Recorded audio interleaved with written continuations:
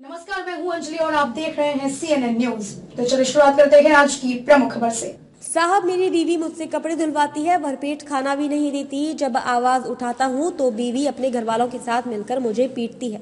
साहब, मुझे मेरी बीवी की प्रताड़ना से निजात दिलाओ या फिर मुझे इच्छा मृत्यु की इजाज़त दे दो। ग्वालियर पुलिस की जनसुनवाई में जब एक शख्स ने रोते हुए ये एसपी से गुहार लगाई तो वहाँ मौजूद लोग हक्का बक्का रह गए। मंगलवार को ग्वालियर में एसपी अमित सांघी जनसुनवाई कर रहे थे।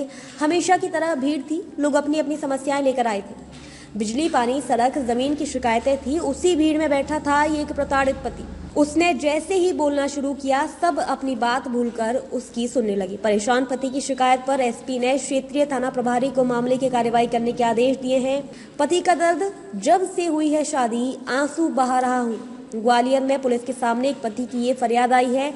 जन सुनवाई में आज एक शख्स ने अपनी बीवी की प्रताड़ना से निजात दिलाने या इच्छा मृत्यु की अनुमति देने की गुहार लगाई है। ग्वालियर के कुमारों का मोहल्ला में रहने वाले धर्मेंद्र पाल ने ग्वालियर एसपी अमित सांघी को एक शिकायत आवेदन दिया है। धर्मेंद्र ने एसपी को बताया कि उनकी बीवी ने उनका जीना हराम कर दिया है। वो उससे बर्तन बनवाती है, कपड़े धुलवाती है, मना करने पर मायके वाले से पिटवाती है। भरपेट खाना भी नहीं देती, एसपी से अपनी बात कहते कहते धर्मेंद्र गाना गाने लगा, जब से हुई है शादी, आँसू बहा रहा हूँ। धर्मेंद्र ने बताया कि साल उन्नीस सौ अठानवे में पिताजी की मृत्यु के बाद उसे पीएचई में अनुकंपा नियुक्ति मिली थी। 2016 में विनयनगर में रहने वाली अनीता से उसकी शादी हुई। शादी के कुछ दिन बाद से ही उसकी पत्नी और सास ससुर प्रताड़ित करने लगी थी। 2018 में पत्नी और ससुरालियों ने उसे कमरे में बंद कर पीटा और दहेज एक्ट में पुलिस के हवाले कर दिया। इसके बाद भी वो अपनी बेटियों की खातिर चुप रहा और समझौता करके पत्नी को घर ले गया।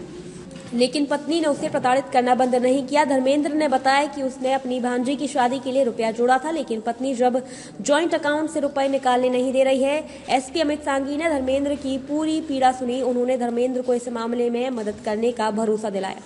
एसपी सांगी ने कहा, एक पति की पीड़ा और शिकायत आई है। पति मानसिक रूप से बहुत परेशान है। इस मामले में क्षेत्रीय पुलिस को कार्रवाई करने के निर्देश दिए गए हैं। पत्नी को बुलाकर काउंसलिंग के ज़रिए इनका पारिवारिक झगड़ा खत्म करने का प्रयास किया जाएगा। खबरों में अब तक बस इतना ही। मिलते हैं फिर ऐसे ही किसी बड़ी खबर के साथ। तब तक के लिए नमस्कार और देखते रहिए सीएनएन न्यूज़